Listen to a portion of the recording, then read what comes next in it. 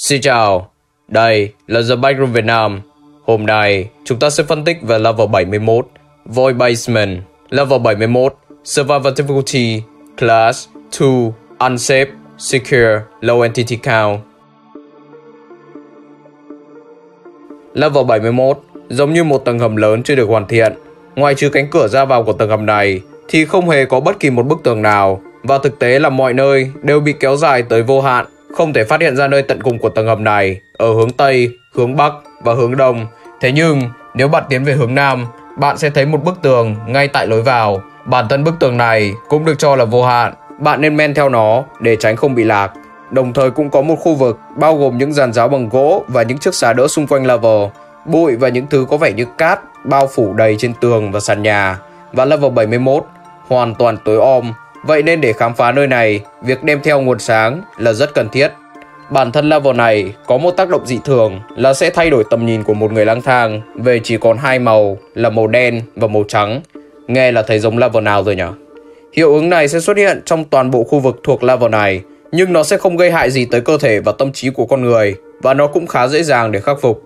Khi ở level 71, cứ sau 14 đến 16 tiếng, bạn có thể nghe thấy những vọng âm Vọng âm trong level này là những tiếng động mà những người lang thang có những kỷ niệm đáng nhớ sẽ nhận ra ngay lập tức.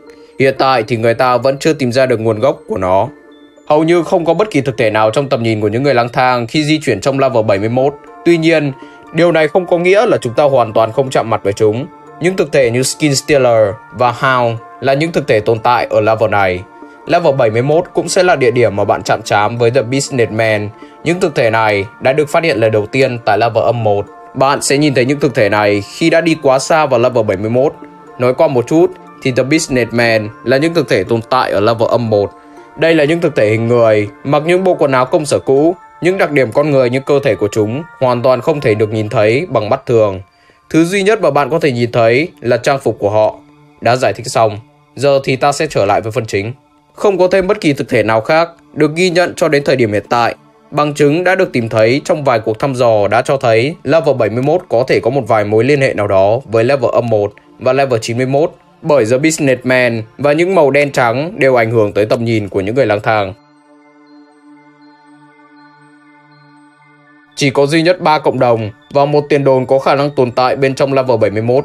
Nhưng thế lực này cho đến thời điểm hiện tại vẫn là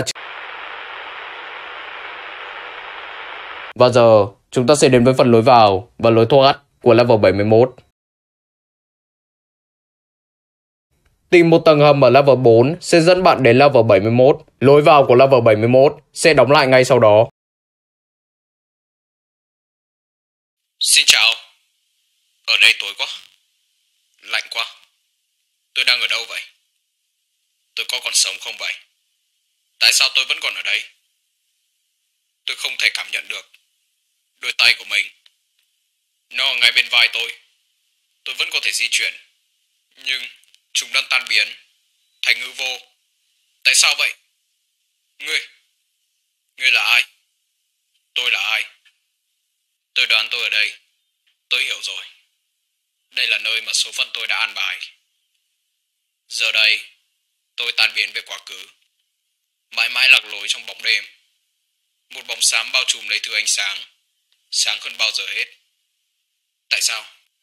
Tôi đã sai ở đâu? Không. Tôi bị mắc kẹt, tan biến vào hư vô. Các lớp thực tại bắt đầu sụp đổ lên tôi. Như đống quần áo mới giặt được gấp vào vậy. Cái sự ấm áp trồng lên nỗi buồn. Tan biến thành không khí. Là một với thực tại. Cát. Bụi. Tôi chỉ là một kẻ. Tan biến vào bóng đêm một màn đêm của màu xám. Tôi không thở được. Tôi tan biến. Tôi đang tan biến. Cứu với. Tại sao? Tại sao? Tại sao lại là tôi? Tại sao? Một màu xám. Thật đẹp.